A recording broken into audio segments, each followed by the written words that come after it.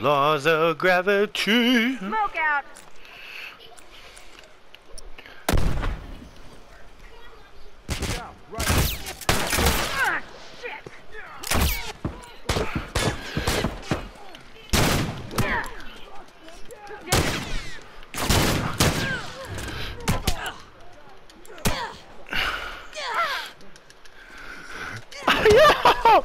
The big brain that I just exhibited on that was fucking too much for these boys.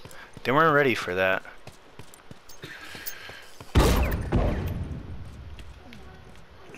Oops, I did it again.